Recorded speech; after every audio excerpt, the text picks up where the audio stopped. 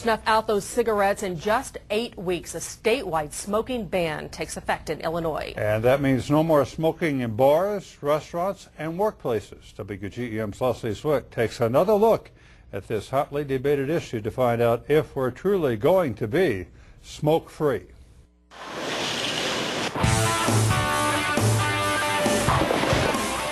Monday nights at the Tangerine Bowl are about to change. Starting January 1st, these bowlers are going to have to aim for a strike without striking up a cigarette. The statewide ban will snuff out smoking in every public place, including bowling alleys. Ed Ruckers is a smoker. He bowls every week, but the ban might change his habit. I'll probably bowl out this year, and next year I might think about it not bowling next year. Exactly why business owners are concerned about the new law. Bottom line, they fear they're going to lose customers who can't smoke in their establishment.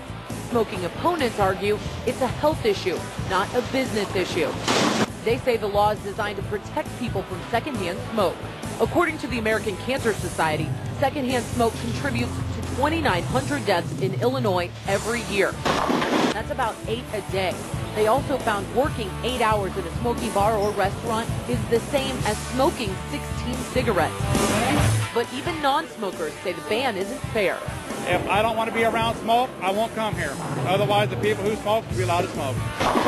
Opponents also argue the state is overstepping its boundaries by telling businesses how to operate. It doesn't just affect smokers, it affects business owners.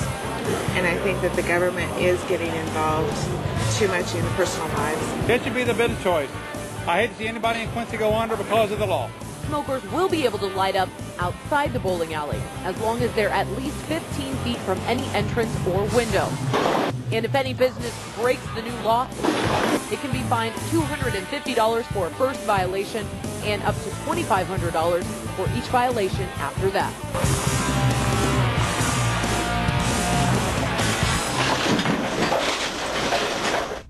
And Leslie says your local health department will work with police to enforce the new law.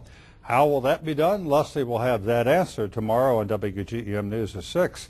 And we'll talk with restaurateurs who've already gone smoke-free and find out if the ban will really be bad for business.